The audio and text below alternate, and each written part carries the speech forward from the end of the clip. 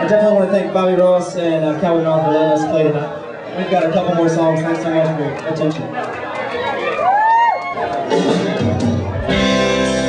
We'll sit it out this round.